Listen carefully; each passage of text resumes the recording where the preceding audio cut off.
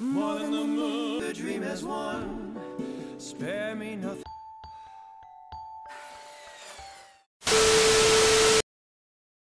Halo Sobat Santuy, today is the day. Jumpa lagi bersama gua di channel Warung Santuy. Apa kabar kalian semua? Semoga kalian baik-baik saja dan tetap santuy. Pada video kali ini, gua akan menceritakan alur cerita film yang berjudul Home Sweet Hell yang dirilis pada tahun 2015. Oke, tanpa basa-basi lagi, kita langsung masuk aja ke isi filmnya.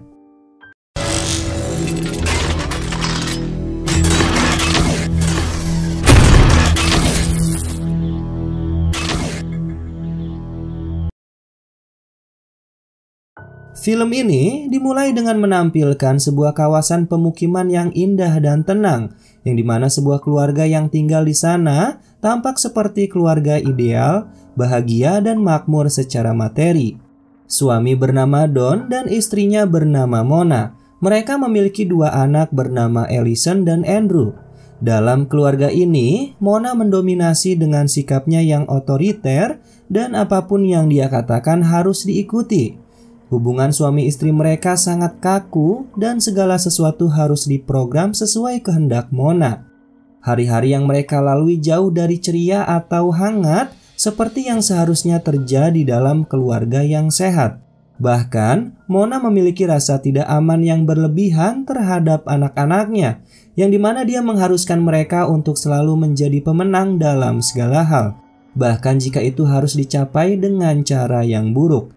Setiap bentuk pelanggaran atau ketidakpatuhan akan berakibat fatal, dan mereka akan mendapatkan hukuman serius darinya. Don sebenarnya cukup tertekan dan tidak bahagia dengan situasi ini.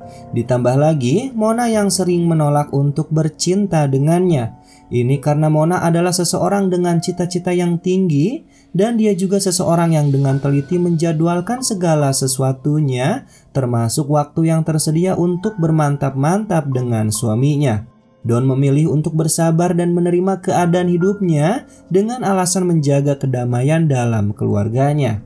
Dalam kehidupan profesional mereka, Don bekerja sebagai manajer di sebuah toko furnitur yang cukup besar. Toko ini dibangun dengan dana yang diberikan oleh orang tua Mona yang berarti Mona secara teknis adalah pemilik toko tersebut. Pada suatu hari, toko itu mengadakan perekrutan untuk karyawan baru, dan seorang wanita bernama Dusty datang untuk wawancara di toko itu. Don tampaknya tertarik pada Dusty sejak pertama kali mereka bertemu. Ditambah lagi, karyawannya Don dan sekaligus tetangganya yang bernama Les mengungkapkan kegembiraannya dia mengatakan kepada Don untuk menerima saja lamaran wanita itu. Dia juga menjelaskan bahwa mereka membutuhkan sesuatu untuk dilihat supaya bisa mengalihkan pikiran dari stres dalam pernikahan mereka.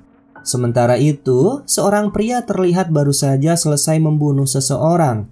Dia kemudian menonton iklan TV untuk toko furnitur Don yang sedang ditayangkan. Ternyata pria ini dan gengnya sedang mengikuti keberadaan dan aktivitas Don serta istrinya. Di sisi lain, Don terus menjalani hari-hari membosankan dengan istrinya dan salah satu anggota geng telah mengikutinya untuk mengetahui di mana Don tinggal.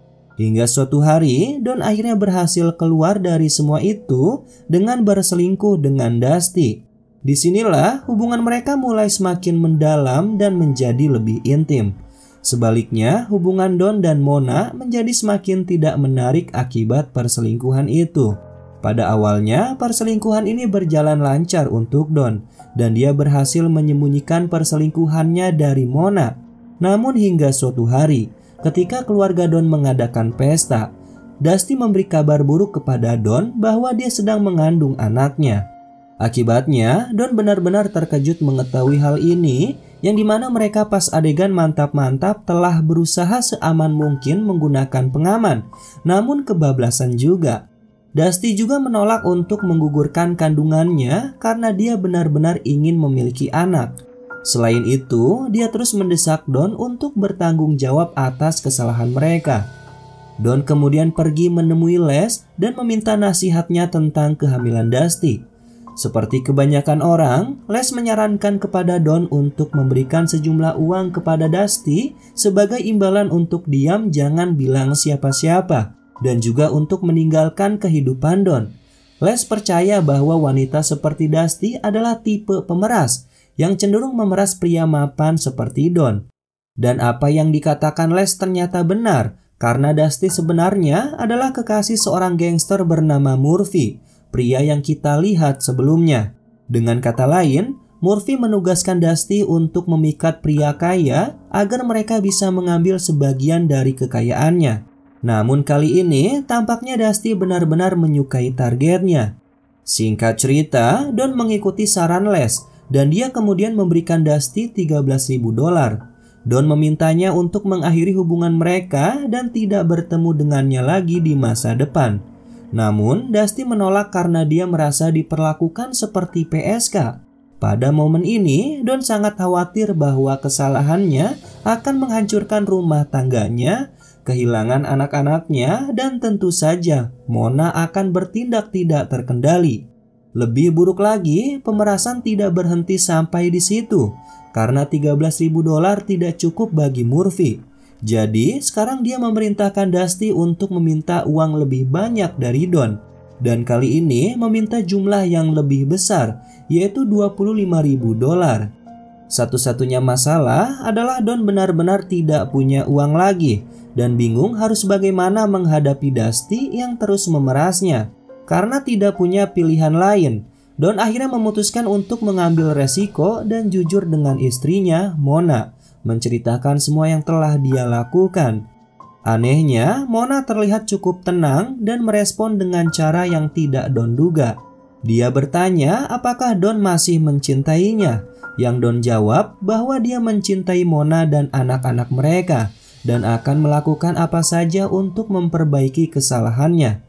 Namun, semuanya tidak sesederhana itu, karena Don masih harus menghadapi amarah istrinya, yang di mana Mona mulai mengungkit semua yang telah dia lakukan, serta semua kesempatan yang dia dan orang tuanya telah berikan kepada Don. Di titik ini, Mona mulai menunjukkan sisi gelap dirinya dengan memerintahkan Don untuk membunuh Dusty, agar Dusty berhenti memeras uang Don. Mona menegaskan bahwa siapa pun yang berani mengganggu keharmonisan keluarganya, maka orang itu akan meninggoy di tangannya. Tiba-tiba, Dusty kemudian menelpon Don untuk meminta uang tunai lagi sebesar 20 ribu dolar. Pada saat ini, Mona memberi dua pilihan. Bercerai yang berarti Don akan kehilangan istri dan anak-anaknya. Atau pilihan kedua adalah mengikuti perintah dirinya untuk membunuh Dusty. Don kini berpikir bagaimana mungkin dia bisa tega membunuh seseorang. Tetapi di sisi lain, dia juga takut kehilangan keluarga yang dia cintai. Keesokan harinya, Mona terus menekan suaminya untuk melakukan adegan psikopat sebelum Dusty datang ke kantor malam itu untuk mengambil uangnya. Bahkan, Mona sudah menyiapkan obat dengan dosis tinggi yang akan digunakan untuk menghabisi Dusty. Mona juga marah melihat Don yang terlihat takut dan meyakinkannya untuk melawan orang-orang yang mencoba menghancurkan keluarga mereka. Don yang tidak punya pilihan lain terpaksa mengikuti rencana Mona dan mulai memikirkan cara untuk memulai aksinya. Kemudian pada hari itu, Dusty datang dan disambut oleh Don dengan memberikan minuman yang telah dicampur obat bius. Saat Dusty meminumnya, dia mulai merasa curiga melihat Don yang berperilaku aneh. Tak lama kemudian, Dusty akhirnya menyadari bahwa dia telah diracuni dan pingsan saat obat di tubuhnya mulai bereaksi. Mona kemudian muncul dan menyuruh Don memasukkan Dusty ke dalam bagasi mobil. Sesampainya di rumah, Don masih tidak bisa menahan ketakutannya untuk memulai tindakan selanjutnya dan dia juga terkejut melihat bahwa Dusty masih hidup. Mona bagaimanapun tertawa melihat ini dan menyuruh Don mengambil palu. Don kemudian memberikan palu kepada Mona. Namun, Mona malah menyuruh Don untuk melakukannya demi memperbaiki kesalahannya. Don yang ketakutan menjelaskan bahwa dia benar-benar tidak sanggup melakukannya. Jadi, Mona menyuruhnya untuk membuka bagasi dan membiarkan dirinya melakukannya.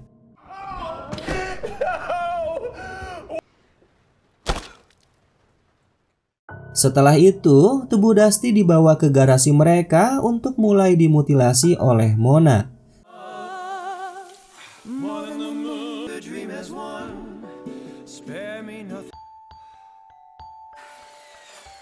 Don yang tidak sanggup melihat semua itu kemudian bergegas pergi ke toilet yang di mana dia hanya pasrah dengan semua yang terjadi dan kemudian muntah-muntah.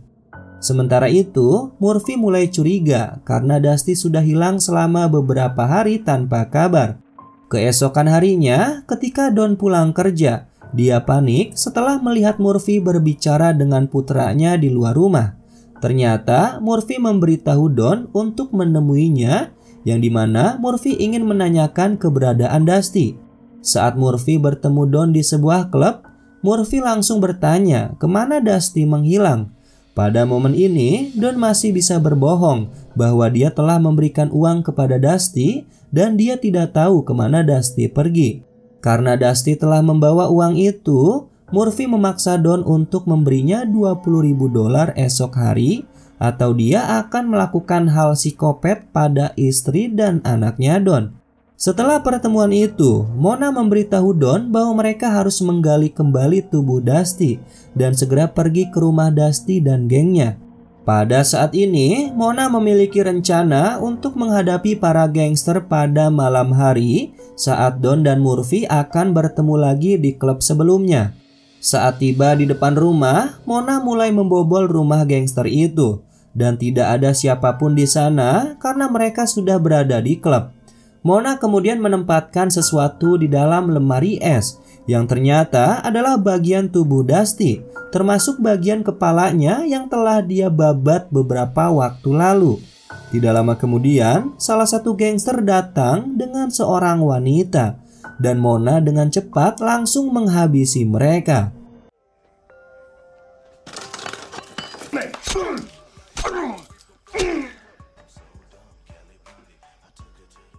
Setelah Mona meninggalkan rumah, pria sebelumnya yang masih hidup kemudian menelpon Murphy dan memberitahunya tentang apa yang terjadi di rumah mereka. Di sisi lain, Mona menggunakan telepon rahasia dan menelpon polisi untuk melaporkan gangguan yang berasal dari rumah Murphy. Begitu Murphy mendengar ini, dia bergegas ke rumah yang di mana dia terkejut melihat semua kekacauan yang telah dilakukan oleh Mona. Dia juga menemukan sisa-sisa tubuh Dusty yang telah ditempatkan Mona di lemari es.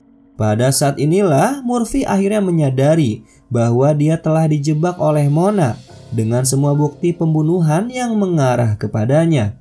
Pada saat yang bersamaan, polisi datang dan menembak mati anak buah Murphy.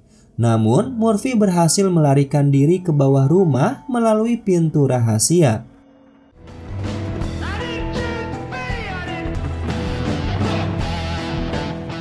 Kemudian pada suatu malam, Don yang penasaran dengan semua tindakan istrinya mencoba bertanya kepada Mona tentang masa lalunya. Dia berpikir bahwa mungkin Mona pernah mengalami peristiwa traumatis atau sebuah tragedi saat masih kecil yang mempengaruhi perilakunya saat ini. Dengan pertanyaan Don, reaksi Mona berubah tak terduga dan menjadi sangat emosional. Mona mengatakan bahwa orang tuanya sempurna dan tidak pernah menyakitinya. Mona kemudian bersumpah bahwa jika Don berani menanyakan pertanyaan itu lagi, dia akan membunuh dan memutilasinya seperti yang dia lakukan pada Dusty. Setelah semua insiden itu, Don sekarang terpaksa menjalani hidup penuh paranoid dan kekhawatiran setelah mendengar ancaman dari Mona sebelumnya. Kegilaan Mona juga semakin parah yang di mana dia merencanakan untuk menyingkirkan anaknya Les yang bertubuh lebih besar dan sering mengalahkan anaknya dalam semua permainan. Keesokan harinya, polisi datang ke rumah Don dan memberitahunya tentang kematian karyawannya yang bernama Dusty.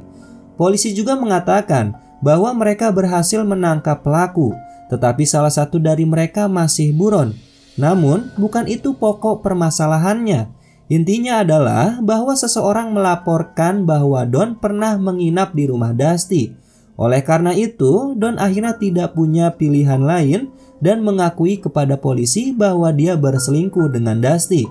Pacar Dusty meminta Don membayarnya agar tindakan Don tidak diketahui Mona.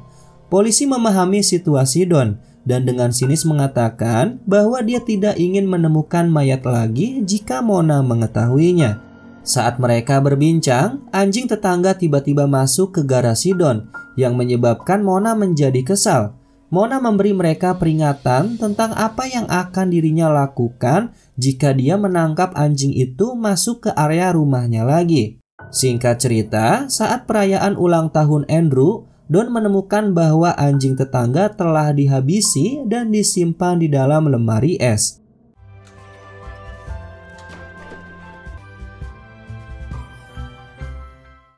Mereka semua yang ada di situ menikmati waktu bersama dengan pertandingan persahabatan antara Andrew dan anak les.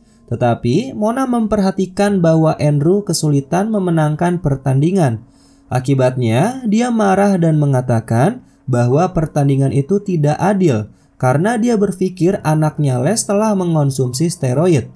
Tidak hanya di situ, Don juga melihat Mona menghina ibu anak itu dengan penyakit yang dideritanya. Dan Mona berharap dia meninggoy karena buang air besar terus-menerus. Kemudian, saat Ellison melihat bahwa kakaknya sedang kesulitan, dia dengan segera mengambil tongkat itu dan menghancurkan unicorn tersebut sampai hancur. Kita bisa melihat bahwa Ellison adalah anak kesayangan Mona dan Mona selalu memperlakukannya lebih baik daripada Andrew. Melihat bagaimana putranya diperlakukan seperti itu membuat Don sedih dan dia percaya bahwa di masa depan putrinya Ellison akan seperti ibunya yaitu Simona. Akhirnya Don memutuskan bahwa sudah saatnya mengakhiri semua kegilaan dari istrinya. Dia kemudian mematikan lampu di garasi rumahnya untuk menciptakan korsleting listrik yang akan menimbulkan percikan api. Setelah melakukan beberapa pengujian, dia membuka katup tabung gas untuk membiarkan gas keluar dan memenuhi garasi. Dia kemudian meminta istrinya untuk pergi ke lemari es di garasi dan mengambilkan daging sapi. Sementara Don akan memeriksa panggangan. Saat Mona menuju garasi, Don dengan cepat keluar dari sana dan berjalan pergi seolah-olah tidak ada yang terjadi. Sementara itu, Mona berada di garasi dan ketika dia menyalakan lampu, muncul percikan listrik. Akibat percikan itu, garasi yang sudah dipenuhi gas kemudian meledak dan menghabisinya.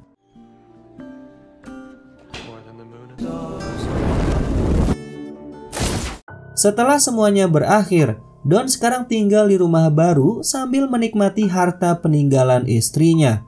Dia dan anak-anaknya sekarang hidup bahagia tanpa aturan apa pun dari sang istri, termasuk ketakutan atas ancaman akan dibunuh oleh istrinya. Namun, film ini belum berakhir karena polisi sampai saat ini belum bisa menangkap Murphy, orang yang melarikan diri dari rumah sebelumnya. Kita bisa melihat bahwa Murphy mengikuti mobil Don dari belakang dan film berakhir dengan bagian kredit scene yang menampilkan suara tembakan dua kali seolah-olah Don ditembak oleh Murphy. Oke sobat santuy, itulah alur cerita film pada video kali ini. Cerita ini menggambarkan kehidupan Don yang terperangkap dalam pernikahan penuh dominasi dan manipulasi istrinya, Mona. Setelah perselingkuhan Don dengan Dusty terungkap, Mona memaksa Don untuk melakukan tindakan psikopat yang mengerikan demi menjaga rahasia mereka. Don yang semakin tertekan akhirnya merencanakan sesuatu untuk mengakhiri hidup Mona. Meskipun Don dan anak-anaknya akhirnya bebas dari kekuasaan Mona, ancaman baru muncul dari Murphy, yaitu kekasih Dusty yang bertekad untuk membalas dendam. Oke, mungkin itu saja penjelasan dari gua. Mohon maaf apabila ada kesalahan kata maupun isi video. Warung Santuy pamit dan jangan lupa untuk tetap santuy.